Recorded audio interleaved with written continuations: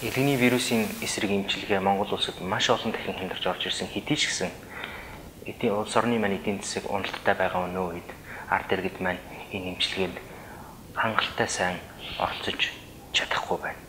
Энэ нь явж явж нөгөө мөнгө санхүүгийн дутагдaltaй байдлаас болж байна. Ийм ч учраас эрүүл мэндийн даатгалаас энэ эмчилгээний хөнгөлөлтөө 80-аас баггүй хуваар хөнгөлөх ийм хүсэлтийг эрүүл мэндийн хөтөлбөрийн өвчтөн нийгмийн төлөөллийн зөвлөлийн гишүүд гаргаж ирээд дэмжиж үүний төлөө яваад одоо жил орчим болж байна. Энэ даатгалыг бүтэн жил нэг хэсэг хүмүүс хөөцөлдөд тусыг их соллоо. Шүүхүүд хөтөлбөрөөгч үзлээ.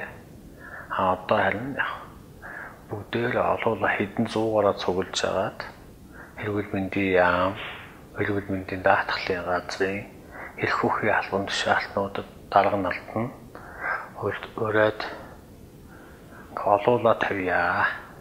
Энэ уулзалтанд нээлттэй хэлэлцүүлэхэд Монгол улсын бүх нам төрийн бус байгууллагууд төрийн болоод олон улсын байгууллагууд бүгдөө өргөцсөн байгаа.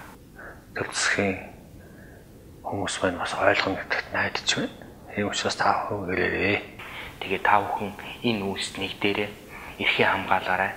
Хамтраад тэмцээрэй. Элэг бүтэн Монгол зөвлөлдөх ардчлалын хэлэлцүүлэг